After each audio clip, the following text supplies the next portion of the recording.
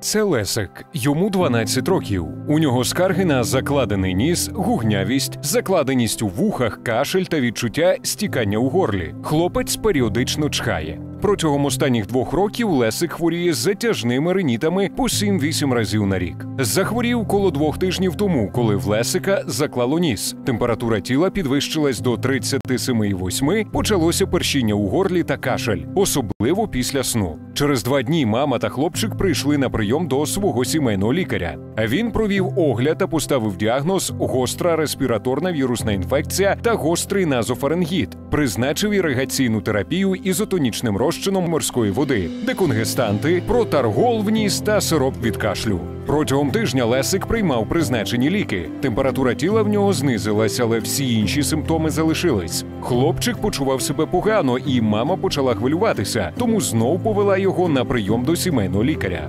Лікар додав до попереднього діагнозу ще гострий риносинусит та призначив антибактеріальну терапію амоксициліна клавуланатом. На жаль, через 10 днів лікування стан Лесика не покращився, і вони вже втретє прийшли до свого сімейного лікаря. Лікар спрямував Лесика на аналіз крові, а потім до лікаря-отоларинголога. Мати розповіла лікарю, що син хворіє вже два тижні. В нього сильно закладений ніс, гугнявість, кашель після сну. Нещодавно з'явилась закладеність у вухах та відчуття стікання у горлі. Хлопець періодично пчихає. При зборі анамнезу з'ясувалося, що у Лесика в ранньому дитинстві був атопічний дерматит. Аналіз крові показав, що у хлопчика збільшена відносна і абсолютна кількість еозинофілів крові. Лікар провів огляд пацієнта та з'ясував, що біль в проекції при носових пазухах в нього відсутній. При пальпації та перкусії в точках виходу трійчастого нерва болісні відчуття також відсутні. При передній риноскопії побачив, що слизова носа бліда із синюшнім відтінком, набрякла, особливо в задніх відділах. Задні відділи носової порожнини не візуалізуються. В основі носової перегородки зліва гребінь, проте контакти із протилежною стінкою носової порожнини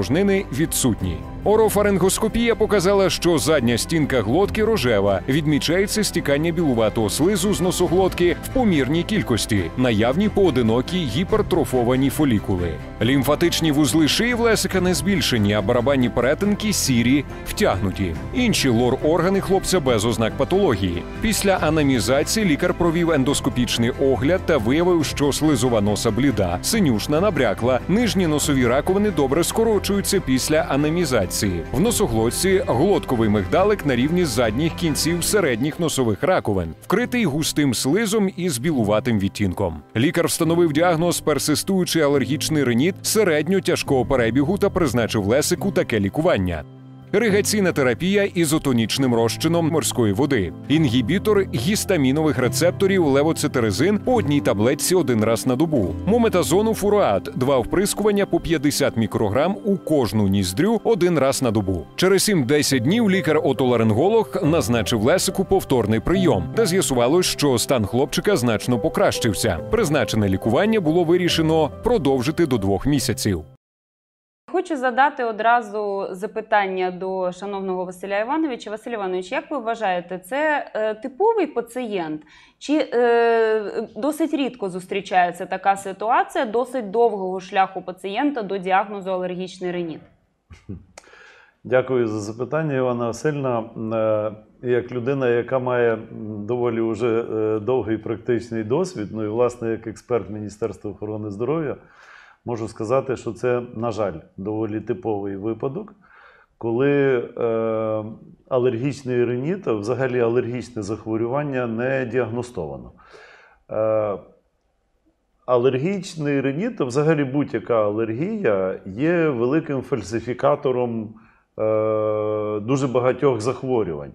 І от в даному випадку у дитини досить часті респіраторні захворювання, часті респіраторні інфекції. Вона часто звертається до лікаря. І ви знаєте, я би зараз розділив от діагностику на два, на два ніби компоненти.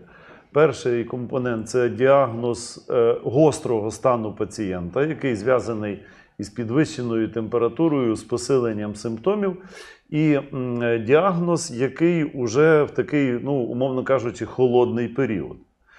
Е, Якщо говорити про діагноз в гострому такому гарячому періоді, коли е, підвищена температура і так далі, бачите, у пацієнта вроді би і стояв діагноз е, гострого назофарингіту. І пізніше, коли ми вже бачимо ретроспективну ендоскопію носоглотки, лікар, в принципі, був на правильному шляху. Він, призна... він встановив відносно непоганий діагноз. Але лікування відповідно до діагнозу, воно було якимось таким, знаєте, ну, дуже не, невпевненим, я би так сказав. І е, після того, коли це е, лікування не показало своєї ефективності, отут якраз і був уже такий шлях дуже гарного диференційно-діагностичного ряду для лікаря. Е, все-таки звернути більш детальну увагу на анамнез в першу чергу. Там є дуже гарні маркери анамнестичні. Ефективність того лікування, яке він призначив. Так? Але лікар трошки збився на таку досить типову ситуацію, коли неефективність лікування того захворювання, яке він лікує, привело до гіпердіагностики. Тобто, при відсутністю взагалі е, критеріїв гострого риносинуситу, все-таки цей діагноз встановлений, але навіть не просто гострий риносинусит, а гострий бактеріальний риносинусит, оскільки цьому пацієнту вже призначений антибактеріальний препарат. По великому рахунку він правильний, захищений амоксицилін. Але справа в тому, що він не показаний, оскільки у пацієнта не було клінічних маркерів насамперед гострого бактеріального риносинуситу. І ось е, оця ситуація і привела до того, що ми стикнулися із неконтрольованим перебігом захворювання. І вже лікар-отоларинголог, користуючись своїми там, професійними е, знаннями і навичками, вже встановив відповідний діагноз. Тому е, дуже важливо нам розуміти, що у комплексній діагностиці гострих респіраторних захворювань дуже важливе значення має певний симптомокомплекс. І в даному випадку він десь відповідав гострому назофарингіту, але кожний діагноз потребує свого лікування. В даному випадку це лікування було не зовсім адекватним відповідно до гострого назофарингіту, ну і воно потягнуло за собою всі, як кажуть, наслідки. Е, Стоїть питання, що у, цьому, у цього пацієнта діагностований пізніше алергічний риніт. Чи вартувало йому призначити лікування алергічного риніту відразу з першого дня? Це закономірне запитання. І я скажу, що всі клінічні рекомендації, які на сьогоднішній день існують, говорять про те, що якщо у пацієнта навіть є алергія, але він не отримував відповідного лікування до моменту захворювання на гострий епізод, це може бути риносинусит, назофарингіт, будь-що. Додавати антиалергічне лікування недоцільно, воно не покращує ефективність лікування.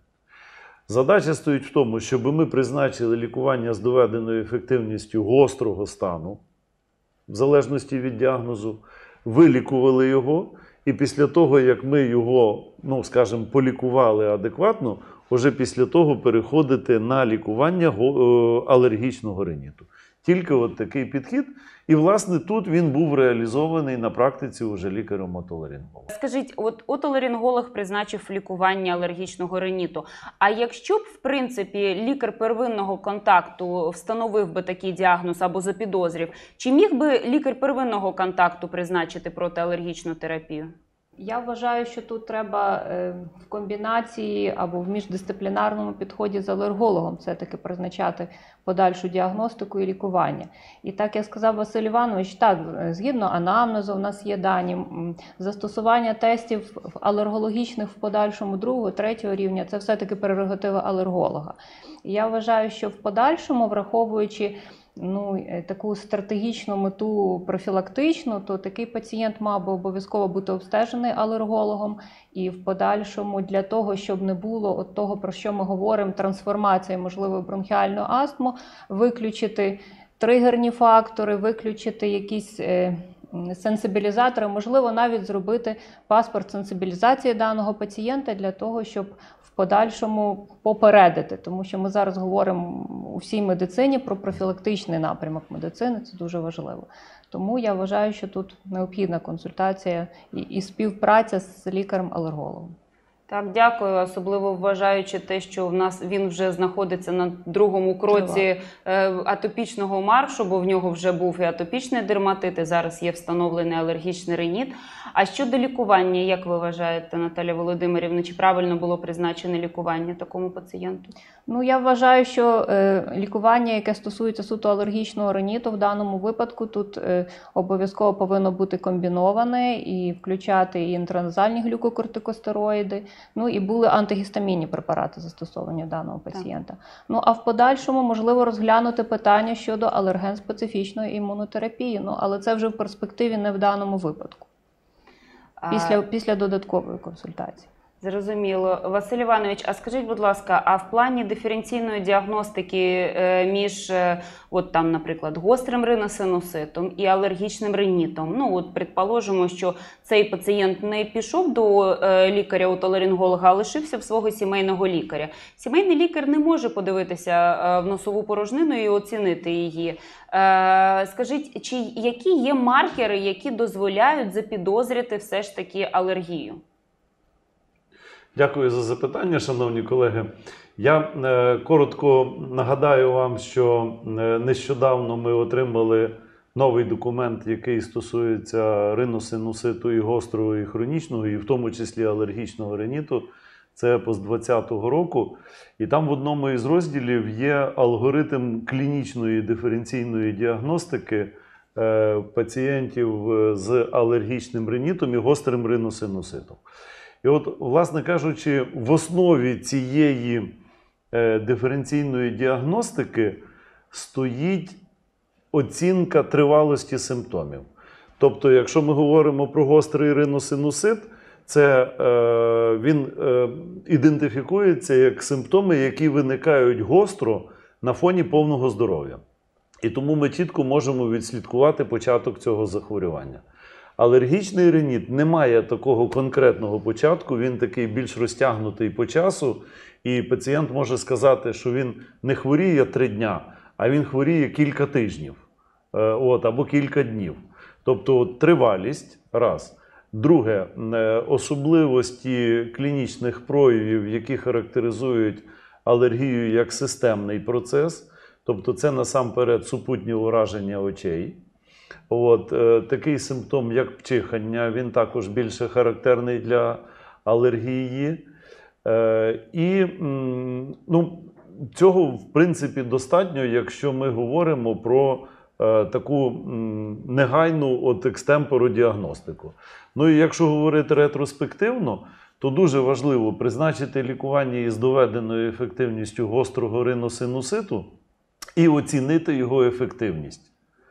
Якщо ми призначили лікування з доведеною ефективністю згідно рекомендацій, і ми не бачимо бажаної відповіді, прогнозованої відповіді, то це є іще одним маркером того, що у цього пацієнта можливо є алергічний реніт. Через два місяці Лесик прийшов на контрольний прийом до лікаря, де виявилося, що закладеність носу в хлопчика практично відсутня. Носове дихання нормалізувалось. Відчуття стікання в горлі відсутнє. Кашель також припинився. Залишається незначно виражена гугнявість. Закладеність у вухах практично пройшла. При ендоскопічному огляді виявилось, що слизова носа бліда синюшним відтінком. Набряк відсутній. Просвіт носових ходів широкий, достатній для дихання. В носоглотці глотковий мигдалик зменшився в розмірах. Нижній край на рівні між задніми кінцями верхніх та середніх носових раковин. Налети на ньому відсутні. Орофарингоскопія показала, що задня стінка глотки рожева, чиста. Лесику поставлений діагноз персистуючий алергічний реніт середньотяжкого перебігу, контроль симптомів.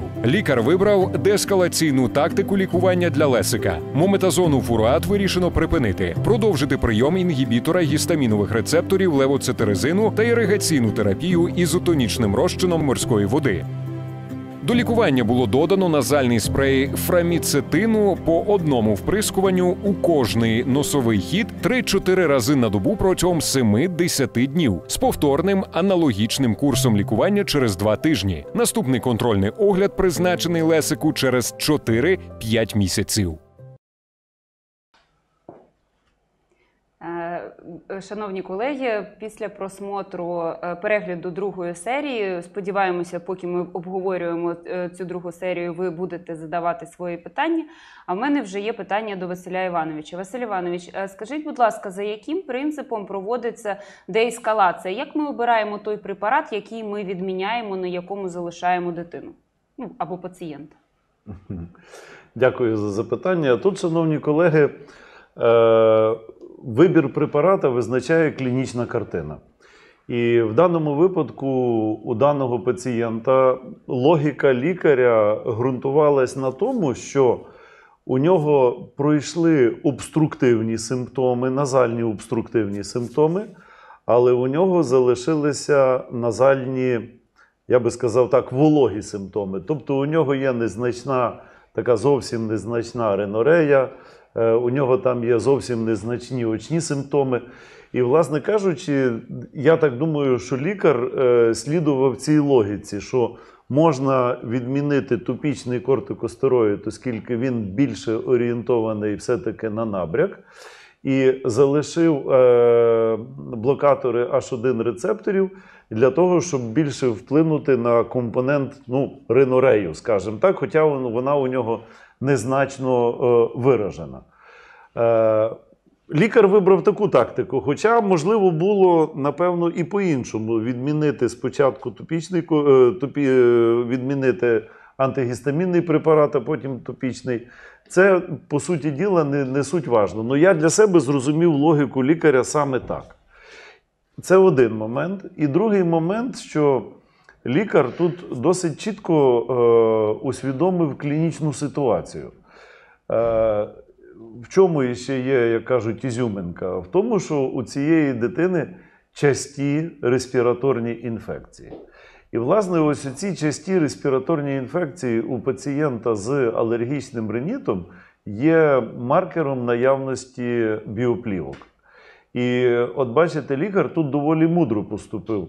Він елімінував топічний кортикостероїд і на його місце призначив е, топічний антибактеріальний препарат, який дуже добре впливає на біоплівки. І я тут погоджуюсь з ним і з цим лікарем, що залишається базове лікування, яке включає іригаційну терапію, антигістамінний препарат. Добавили те, що вимагає зараз принцип превентивності. Так? Уже оцей вплив на біоплівки він передбачає те, що ми думаємо про майбутні загострення респіраторних інфекцій. І через деякий час, я так думаю, що цей лікар знову е, подивиться цього пацієнта, він оцінить стан е, глоткового мигдалика, він оцінить стан е, слизової оболонки, і, можливо, він призначить якийсь інший препарат, який впливає на біоплівки, якщо цього не буде достатньо. От, якщо цього не буде достатньо. От, власне кажучи, е, я думаю, що логіка така була, і я з нею абсолютно погоджуюся. Дякую. А скажіть, будь ласка, Василь Іванович, а щодо іригаційної терапії, вона взагалі є, е, підлягає ось цієї деескалації? Чи е, на іригаційній терапії пацієнта з алергічним ринітом ми залишаємо завжди? Ну, я би не розглядав е, ізотонічний розчин морської води, це чудове лікування. Але е, його, ну, в принципі, напевно, не варто розглядати як лікування. Ви знаєте, я коли розмовляю з своїми пацієнтами, я люблю так казати, що от іригаційна терапія для носа, от морська вода для носа це приблизно те саме, що зубна паста для зубів. Це є гарний профілактичний засіб, але це ні в якому випадку не є лікування. І от е, з точки зору елімінації е, алергенів з поверхні шокового органу, фактично слизова оболонка є шоковим органом, елімінація алергенів є гарним таким, е, гарною допомогою для фармакотерапії. Ну, це, звісно, це не можна розцінювати як лікування.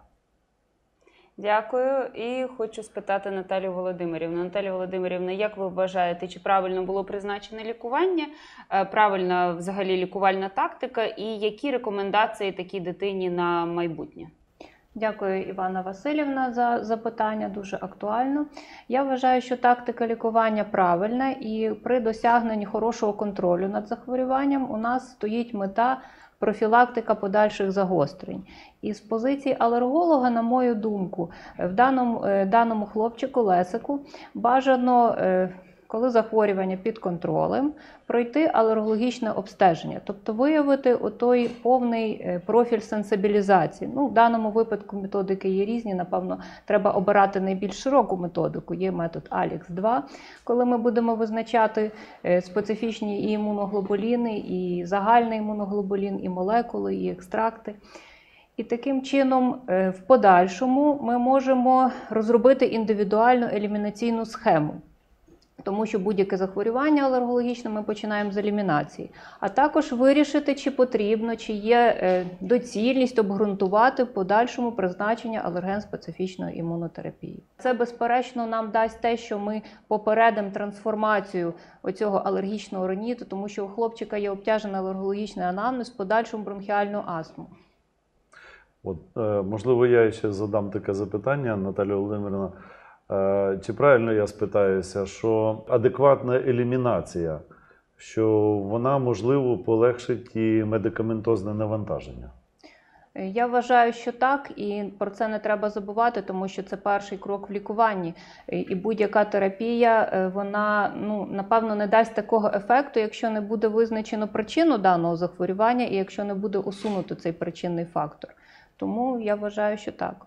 Е, Хотіла ще спитати Наталія Володимирівна, для колег е, нас дивляться як лікарі е, первинного контакту, так і отоларингологи. Саме вони спрямовують пацієнта до алерголога для проведення вже такої більш детальної діагностики. Скажіть, будь ласка, для проведення прік-тестів потрібно певні умови по призначенню терапії, по відміні перед прік-тестами. А для проведення ось цих молекулярних досліджень потрібно якось змінювати терапію? Ну чи є щось, що вплине на результати цього дослідження?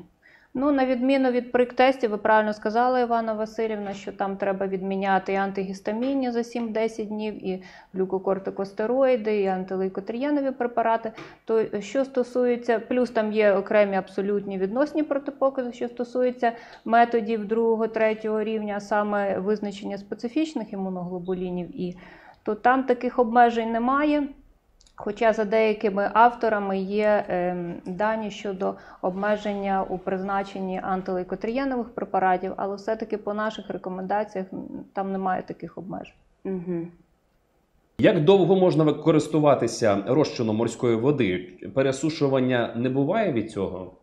Нам треба користуватися офіціональним розчином морської води, а не те, що зроблено вдома із розрахунку одна столова ложка там або на стакан, або на літр води, хто на що спосібний. Е, офіціональні розчини морської води вони збалансовані, тому він і називається ізотонічний розчин морської води. Причому ізотонічність підібрана не до сироватки крові, а саме до назального слизу. Е, розчини для ендоназального використання, на відміну від старих розчинів для іригаційної терапії, вони ізотонічні до назального слизу. Тому не відбувається пересушування, не відбувається звикання.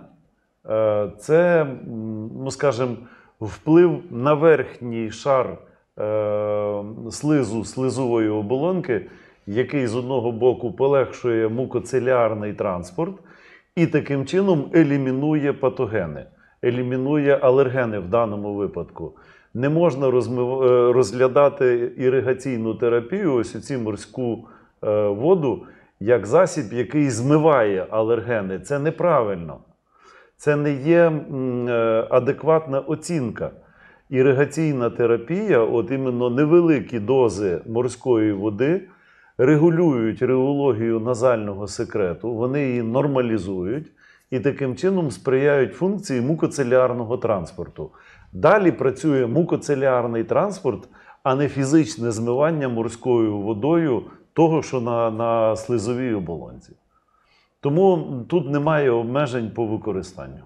Ну, можливо, я ще додам, що напевно, якщо є така, ми ніколи не можемо виключити якусь індивідуальну непереносимість, тому звичайно іноді проблеми вирішуються просто заміною конкретного препарата з, з препаратами інш, ну, тої самої групи, просто обрати інший Так. препарат. Ну і тут дуже важливо, шановні колеги, ще дивитися на е, склад, е, тому що є одна група препаратів, які не мають консервантів, і інша група, які ці консерванти мають. От е, якщо е, в складі морської води є консерванти, тоді, звісно, використання обмежене не із-за морської води, а саме із-за консервантів. Там, де консерванти відсутні, вони абсолютно безпечні при тривалому використанні. Какие назальные глюкокортикоиды лучше использовать мометазон или флютиказон? Ви знаєте, шановні колеги, доказова база є і для того, і для іншого препарату. Е, Це дві різні молекули. У неї, ну і у тої, і у тої молекули є певні, як кажуть, і переваги. Е, Якщо ми говоримо про лікування алергічного риніту, е, це вже залежить, в принципі, від власного вибору лікаря чи пацієнта. Ну, якщо ми говоримо про е, алергію, яка супроводжується гіперпластичними змінами або поліпозом, то звісно тут пріоритет надається мометазону, оскільки у нього є потужна доказова база з точки зору лікування гіперпластичних е, поліпозних процесів. Е, Для банального алергічного запалення ну, я не бачу особливих переваг і особливих недоліків того чи іншого. Я би, можливо, їх розглядав як варіант заміни одного на інший при необхідності тривалого використання. Наступне запитання. Підкажіть, будь ласка, кому і коли можна призначати Монтелукаст? Ну, якщо це стосується алергічного риніту, то в схемі є призначення Монтелукасту. Якщо це стосується бронхіальної астми, про яку ми ще будемо говорити, то це починаючи як додаткова терапія, починаючи з кроку 2, ми можемо як інша терапія приєднувати до застосованої базисної терапії. Е, Єдине, що треба пам'ятати, що були дослідження, які стосувались того, що у пацієнтів, у яких є порушення неврологічні, в зв'язку з деякими побічними ефектами, треба їх попереджати про це і застосовувати обережніше. Дякую, хотіла ще е, доповнити. В зв'язку з тим, що при алергічному риніті дійсно антилейкотрієнові препарати входять вже навіть в е, терапію першої лінії. То е, тут є напевно певні особливості застосування. На мою думку, ми можемо обирати антилейкотрієновий препарат якраз у випадку, коли у пацієнта є поєднана патологія, тобто є поєднання як алергічного риніту, так і бронхіальної астми. Таким чином, призначаючи даний препарат, ми можемо е, уникати поліпрагмазії. І коли в нас є випадок, коли е, даний препарат буде підходити як для лікування бронхіальної астми, так і алергічного риніту, ми можемо обрати його серед всього е, списку препаратів першої лінії. Скажите, какие маркеры аллергического воспаления для принятия решения о назначении блокаторов лейкотриеновых рецепторов? Шановні колеги, є клінічні маркери алергічного захворювання.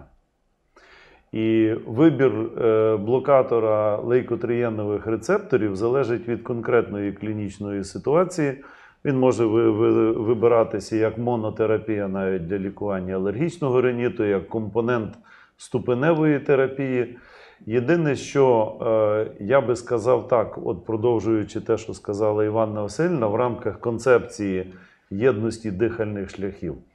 От е, алергія це є системна хвороба. Ну, її можна так назвати. Якщо ми візьмемо алергічний реніт, то це алергія з переважним ураженням носа або з переважним ураженням нижніх дихальних шляхів. Ну, досить часто ми маємо і те, і інше.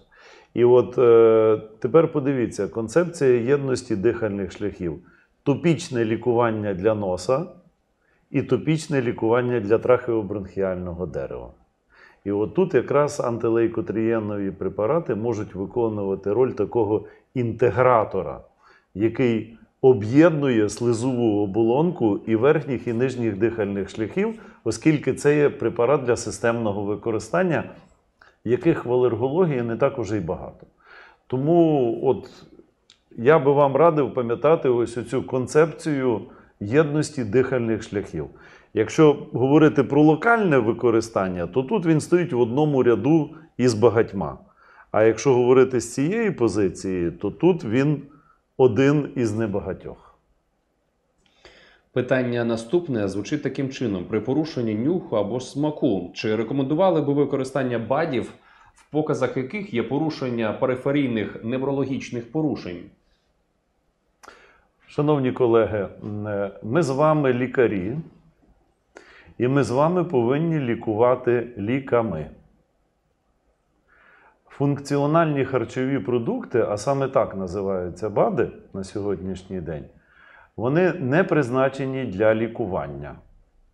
І якщо до вас приходять і кажуть, що це, от ви розумієте, там е, це то саме, але трошки дешевше. Або у компанії немає грошей на е, е, там реєстрацію цього препарата як лікарського засоба. Не вірте це все від лукавого. У цих препаратів просто немає ніякої доказової бази. І я, як професійний лікар, звертаюсь до вас як до професійних лікарів. Не користуйтесь БАДами, оскільки це є дієтотерапія. Якщо ви хочете лікувати своїх пацієнтів дієтотерапією, ну тоді, е, тоді це неправильний підхід до лікування хвороби. Скажіть, будь ласка, з якою метою призначено дитині препарат ізофра? Логіка лікаря полягала в тому, що у цієї дитини є рецидивуючі інфекції, е, які перебігають з температурою, з явищами там, риносинуситу, назофарингіту і так далі. І якщо ми візьмемо е, от пацієнта, у якого є алергічне захворювання слизової оболонки, і саме ось от такий варіант частих респіраторних інфекцій, це є маркером наявності у пацієнта біоплівок.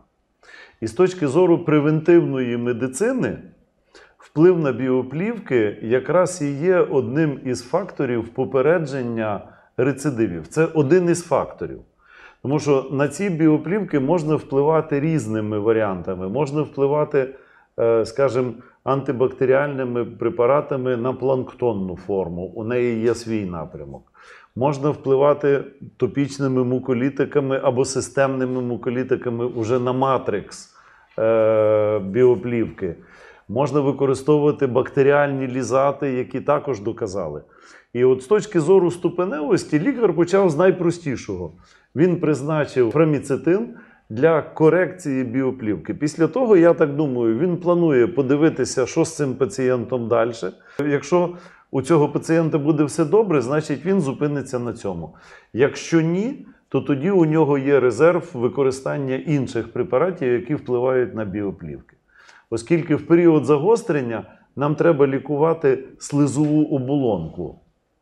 А зараз, коли слизова оболонка під контролем, лікар починає впливати на те, що міняє мікробіоциноз слизової оболонки. І тому я вважаю, що основним показом було саме це. На який період призначити антигістамінні препарати та назальні кортикостероїди при вперше виявленому алергічному риніті у дорослих та дітей?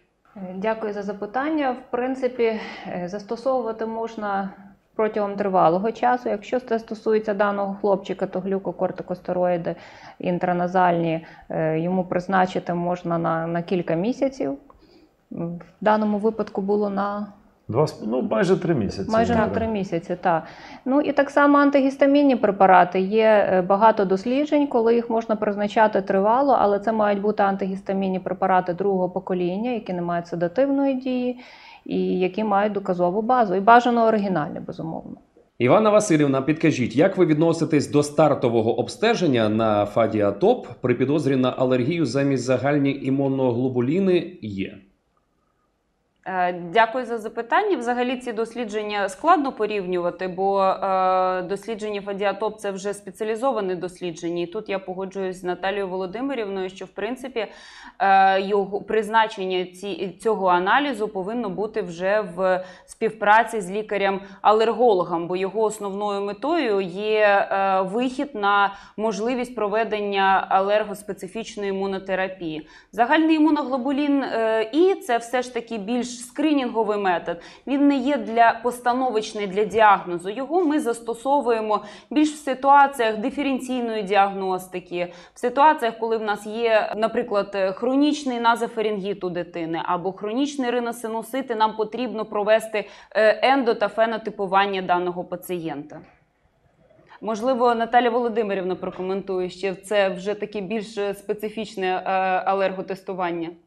Ну так, е, щодо фадіотопу, в принципі, е, сімейні лікарі можуть це визначити в плані скринінгу, чи є можливість і чи є потреба в подальшому виконувати багатокомпонентні алергодіагностики. А щодо загального імуноглобуліну, і то так, я погоджуюсь, це є такий метод, який не дає нам такого чіткого уявлення, що це алергія чи не алергія, тому що є багато захворювань, при яких також він може бути підвищений. Це починаючи від гельмінтозів і закінчуючи різною аутоімунною патологією.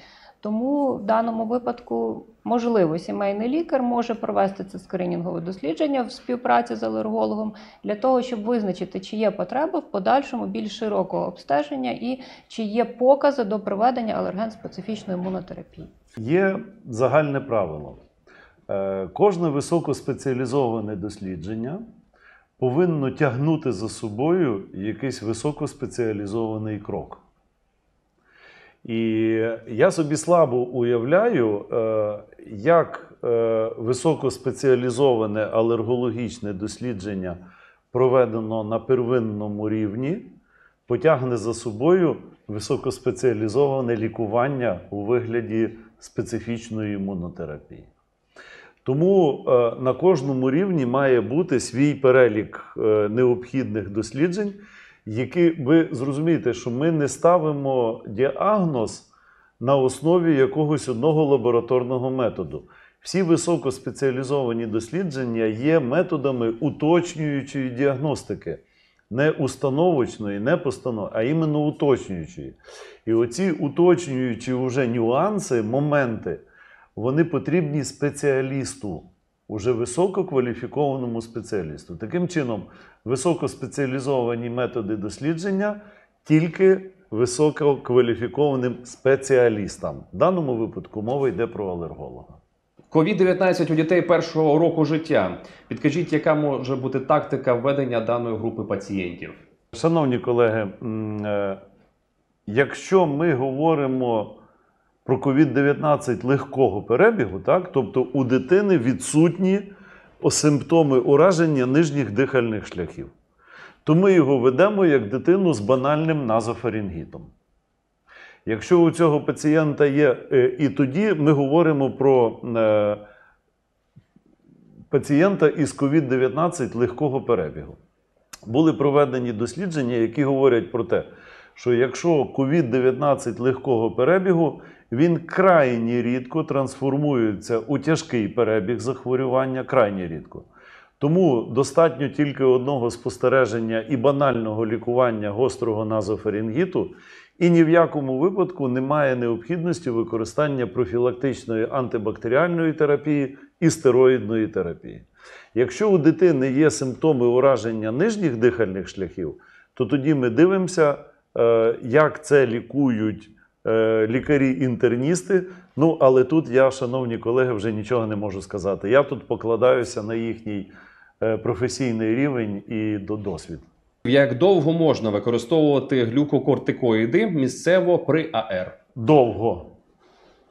Надто довго, вірніше, набагато довше, ніж е, думає наша е, середньостатистична лікарська думка. Шановні колеги, е, ми не можемо говорити про використання глюкокортикоїдів протягом тижнів. Це місяці, інколи навіть і роки. Топічні глюкокортикостероїди протягом тижнів можна використовувати тільки для лікування гострого риносинуситу. Якщо мова йде про алергічний риніт, то це є, ну, може бути як монотерапія, може бути як компонент ступеневої терапії, але це довготривалий час і визначає клініка. Ну, скажімо, є дослідження, яке говорить про те, що е, немає абсолютно ніякого впливу на макроорганізм у дітей, які отримували глюкокортикостероїди, топічні, звісно, протягом 54 тижнів. Це фактично рік. От, якщо у нас все-таки доходить питання про те, що цей пацієнт лікується рік, е, ступенева терапія дозволяє комбінувати інші препарати, інші продукти, на якийсь певний час відмовитись від топічних кортикостероїдів на користь інших препаратів. От, але пацієнт з алергією не повинен залишатися без лікування.